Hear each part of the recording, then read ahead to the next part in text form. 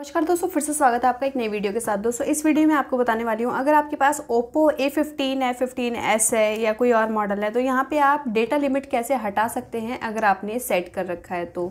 तो data limit यहाँ पे अगर आपका सेट है तो हटाने के लिए आपको यहाँ पर क्या करना है? चले जाना है सेटिंग पे। सेटिंग पे जाने के बाद यहाँ पर आपको इस टाइप से ऑप्शन देखने को मिलेगा। अब यहाँ पर SIM card and mobile data पे क्लिक करना है और स्क्रॉल करेंगे। मोबाइल डेटा यूसेज का ऑप्शन देखने को मिलेगा। यहाँ पे मोबाइल डेटा यूज़ लिमिट पे क्लिक करेंगे। तो देख सकते हैं यहाँ पे आपका डेटा लिमिट सेट हो रखा है। ये अलर्ट वगैरह है तो अलर्ट पहले तो मैं बंद कर दूँगी और इसके बाद यहाँ पे जो डेली डेटा लिमिट है मंथली है, मंथली को बंद कर देंगे। अगर डेली का डेटा लिमिट लगा रखा है तो इस पर क्लिक करके इसको डोंट रिमाइंड कर देंगे। तो ये डोंट रिमाइंड हो गया, यानी कि कुछ भी सिलेक्ट नहीं है। ठीक है?